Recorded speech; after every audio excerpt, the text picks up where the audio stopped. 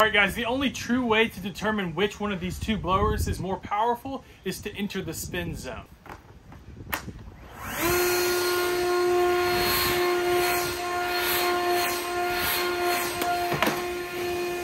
All right, so I got the Ryobi reattached here. We are now going to let the Ego enter the spin zone on its own.